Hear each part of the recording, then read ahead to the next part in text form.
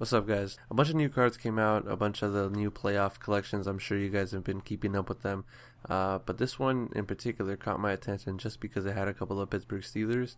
Uh, so I decided to pull a couple of packs and see what I got. Tested my luck, and see the first pack I really didn't get anything. I got the Geno Atkins. You know, I haven't done any of the collections at all for the play- playoff cards, so I have to you know catch up sooner or later. So might as well do it now. I was really holding out until just about now where they release the really good cards and stuff. They're probably going to release even better ones two weeks from now when the Super Bowl champions, um, you know, are announced. I don't know if you guys have been keeping up with football. I know you guys play Madden, but do you guys keep up with the real NFL? Uh, I think it's going to be a blowout. Now, I am going to give a pretty good card. I'll give out our cornerback Rod Woodson to whoever can pro- guess the score first. Now, of course, you only get a one try, so you go ahead, you know, post whatever. I got that George Blanda right there, which is pretty nice, and a Ray Rice. But go ahead and post whatever score you think it is. And it's kind of it's funny to pick it now because if you pick it now, you still have to guess the winners of the AFC and NFC championship, and then guess the winner of the Super Bowl. So it's kind of interesting. You get a you know you get a nice Rod Woodson card. Um, it's gonna be kind of cool. So I haven't got anything out of these playoff cards, and I'm opening up the. I got the Redskins home kind of gay. I don't even like that. I mean, although they do have nice jerseys, but Ronnie Lott, and I feel like now they're just pushing out the one stars. They don't even care about the one stars anymore, so they're kind of forcing them out to the public because they really don't mean anything anymore.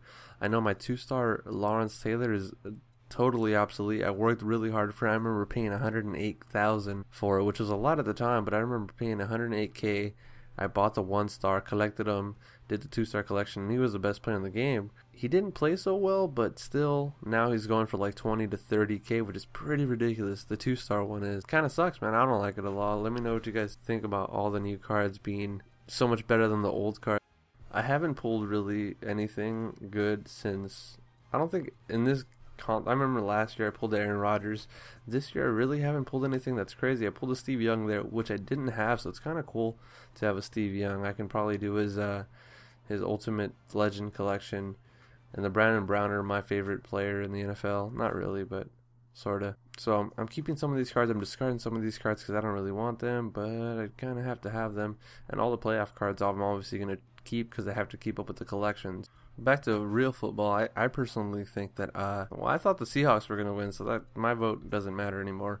But the uh, 49ers and the Patriots are going to win this weekend. It's going to be the 49ers and the Patriots in the Super Bowl. And I think the uh, Patriots are going to win it. I think Tom Brady's going to get to that number four. Is it four Super Bowl wins and number six appearances?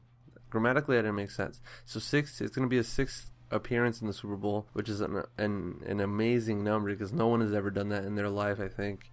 I could be wrong. Double check that. Let me know if you guys know better than I do, but it's gonna be crazy. And I don't want the Ravens to win. I mean, obviously I have my biased opinions, but I feel like the Broncos should have beat the Ravens. I mean, that was a really, really good game. I really, I pulled a Darren Sproles right there. This was a pretty cool card. I got a little excited. I didn't get too happy because it is a Darren Sproles, and it's probably like the easiest card out of all of them to collect. Um, nevertheless, I was a little happy that I finally got one of the up to date cards. So that didn't make my money, you know, magically grow back, but it's okay.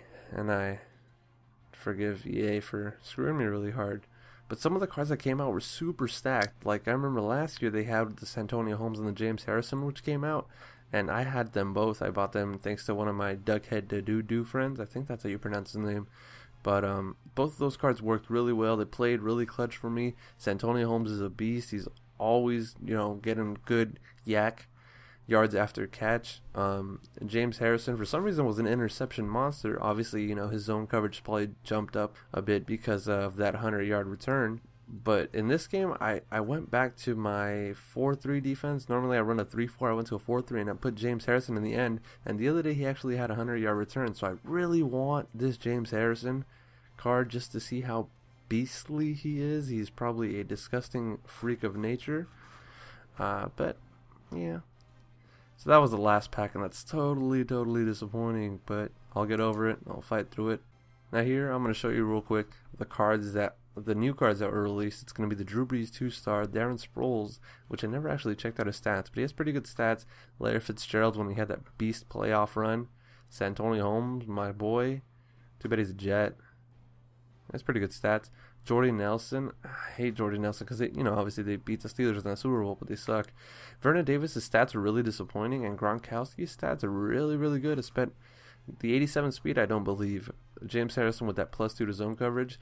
Now, a lot of people on YouTube don't show you guys this. I haven't seen them. I was looking up what the what the rewards were, but if you guys search on the auction block, you see the Lawrence Taylor, Rodney Harrison, Otto Graham, and and Mean Joe Greene. So they released another Mean Joe Greene. I don't know if this is a good thing or a bad thing. It makes my cards suck. Now, you know, I'm, i hate the Patriots, so I'm not gonna go for that Rodney Harrison card. The Lawrence Taylor, eh, doesn't have that, you know, that amazing of stats. But the Otto Graham has really, really good stats, and so does the Mean Joe Greene. So thank you guys for watching, and hasta luego.